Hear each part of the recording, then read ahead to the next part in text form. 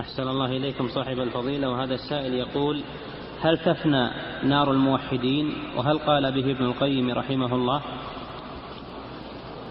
يخرج منها يخرج منها وهي باقية ما تفنى. يخرج منها الموحد وهي باقية يخلد فيها الكافر.